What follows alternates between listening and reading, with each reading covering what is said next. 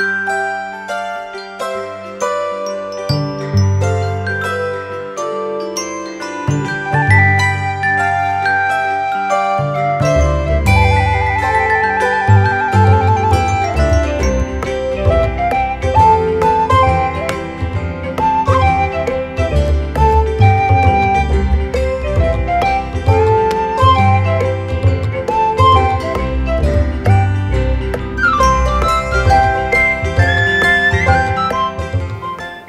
วัสดีค่ะ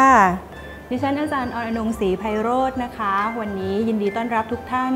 เข้าสู่การเรียนในรายวิชาอาหารนานาชาติค่ะ ซึ่งโครงสร้างในเนื้อหารายวิชานะคะก็จะมีหลากหลายด้วยกัน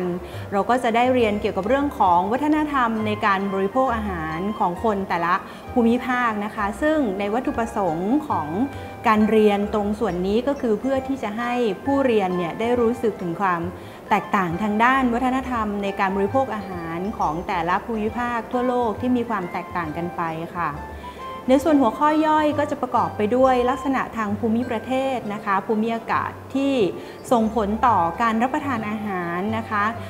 แล้วก็มีเรื่องของวัฒนธรรมการบริโภคอาหารของคนโดยทั่วไปนะคะ ซึ่งแต่ละที่ก็ย่อมจะมีความแตกต่างกันอยู่แล้วค่ะ สำหรับหัวข้อที่ 2 ในรายการสอนเรื่องเรื่องของอาหารนานาชาตินะคะ ก็จะเป็นเรื่องของวัตถุดิบต่างๆ ที่ใช้ในการประกอบอาหาร ซึ่งแต่ละที่แต่ละประเทศนะคะก็จะมีความโดดเด่นมีความแตกต่างที่แตกต่างกันออกไป ซึ่งเราจะต้องได้เรียนรู้และทำความเข้าใจค่ะ โดยวัตถุประสงค์ของการเรียนในหัวข้อนี้ก็คือ เพื่อที่จะให้ผู้เรียนเนี่ยได้เข้าใจในเรื่องของหลักการเลือกใช้วัตถุดิบต่างๆสำหรับการปรุงอาหารของแต่ละประเทศนะคะ หัวข้อย่อยในเรื่องนี้ก็จะมีเรื่องของการเลือกใช้วัตถุดิบในการประกอบอาหาร มีเรื่องของหลักการเตรียมวัตถุดิบนะคะ แล้วก็พวกเครื่องเทศต่างๆ ที่จะใช้ในการประกอบอาหารนะคะ ซึ่งค่อนข้างมีความหลากหลายค่ะ สำหรับในหัวข้อที่3นะคะก็คือเรื่องของอาหารตะวันออกนะคะ ซึ่งในโซนบ้านเราก็คือเอเชียนี่เองนะคะโดยวัตถุประสงค์ของการเรียนในเรื่องของอาหารตะวันออกก็คือ เพื่อที่จะให้ผู้เรียนเนี่ยเข้าใจ แล้วก็สามารถประกอบอาหารตะวันออกได้ จริง ๆ ในภูมิภาคตะวันออกของเราประกอบไปด้วยประเทศนานาประเทศนะคะ ซึ่งมีค่อนข้างมาก แต่เราเนี่ยก็ได้คัดสรรเอาอาหารของประเทศที่มีความน่าสนใจนะคะ โดยเฉพาะอย่างยิ่งก็คืออาหารไทยซึ่งเป็นอาหารของประเทศของเราเองนะคะ แล้วก็อาหารจีนนะคะ ซึ่งมีความโดดเด่นในเรื่องของรสชาติ แล้วก็วัฒนธรรม รวมถึงวิธีการบริโภคอาหารนะคะที่น่าสนใจ รวมถึงญี่ปุ่นนะคะ ญี่ปุ่นนี่ก็เป็นอีกประประเทศหนึ่งที่มีความน่าสนใจทางด้านการทำอาหารการประกอบอาหารมาก เพราะว่ามีการเน้นในเรื่องของวัตถุดิบที่ได้มาจากธรรมชาตินะคะแล้วก็เรื่องของรสชาติต่างๆ ซึ่งค่อนข้างจะมีความโดดเด่นแล้วก็น่าสนใจค่ะ ส่วนอีกหัวข้อหนึ่งก็จะเป็นอาหารเวียดนามนะคะ แล้วก็หัวข้อสุดท้ายจะเป็นเรื่องของอาหารอ,อินเดียค่ะ ซึ่ง 2 ประเทศนี้นะคะอยู่คนละที่กันเลยเวียดนามกับอินเดีย แต่ว่ามีความแตกต่างกันค่อนข้างมากนะคะ โดยเฉพาะเรื่องของอินเดียเองเนี่ยจะมีความโดดเด่นในเรื่องของเครื่องเทศต่างๆนะคะ แล้วก็รสชาติอาหารที่ค่อนข้างจะจัดจ้านมากๆค่ะสำหรับหัวข้อที่4นะคะจะเป็นเรื่องของอาหารยุโรปในเรื่องของการเรียนอาหารยุโรปนะคะวัตถุประสงค์หลักก็คือผู้เรียนเนี่ยจะต้องสามารถที่จะเข้าใจแล้วก็สามารถที่จะประกอบอาหารยุโรปได้นะคะซึ่งอาหารยุโรปจริง ๆ ก็ไม่ได้ยากมากจนเกินไปนะคะ ซึ่งในปัจจุบันเนี่ยวัตถุดิบต่างๆ ก็สามารถหาได้ง่ายในประเทศเรานะคะ ก็สามารถที่จะทดลองทำได้นะคะ ซึ่งหัวข้อย่อยนะคะก็จะประกอบไปด้วย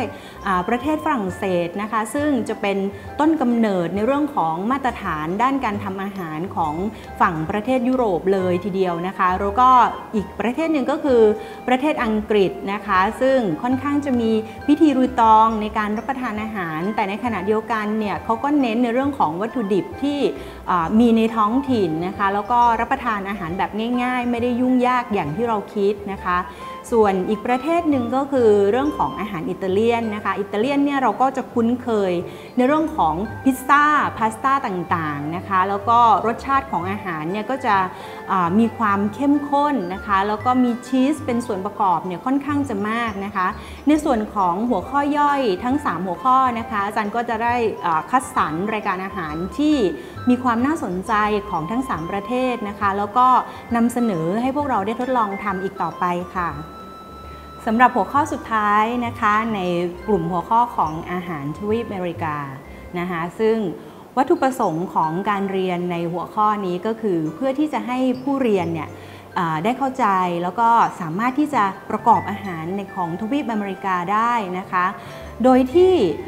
หัวข้อของอาหารอเมริกานี้นะคะก็จะมีทวีปอเมริกาเนี่ยนะคะก็จะมีอยู่ 2 หัวข้อนะคะก็คืออาหารของอเมริกันนะคะพวกชาวอเมริกันว่าเขาทานอะไรอย่างไรกัน แล้วก็ประเทศเม็กซิโกอีกอันนึงก็คืออาหารเม็กซิกันนะคะซึ่งมีความโดดเด่นในเรื่องของรสชาติอาหารค่อนข้างจะมากนะคะ ซึ่ง ทั้งสองที่เนี่ยถึงแม้ว่าจะอยู่ในโซนเดียวกันอยู่ทวีปเดียวกัน ก็จะมีเรื่องของความแตกต่างเรื่องของรสชาติค่อนข้างจะมากค่ะสำหรับวัตถุประสงค์การเรียนรู้ในรายวิชา International Cuisine หรือว่าอาหารนานาชาตินะคะ ผู้เรียนจะได้รับประโยชน์ดังนี้ค่ะ 1. เข้าใจในเรื่องของความแตกต่าง ด้านวัฒนธรรมการบริโภคอาหารของคนแต่ละภูมิภาค 2. อธิบายประเภทและลักษณะเฉพาะของอาหารแต่ละชาติได้ถูกต้อง 3. ระบุชนิดของวัตถุดิบหลัก เครื่องเทศ เครื่องปรุงรสของอาหารแต่ละชาติได้ 4. บอกขั้นตอนการประกอบอาหารนานาชาติได้ และสุดท้ายข้อ 5 นะคะก็คือเข้าใจคำศัพท์ที่เกี่ยวข้องกับอาหารนานาชาติค่ะ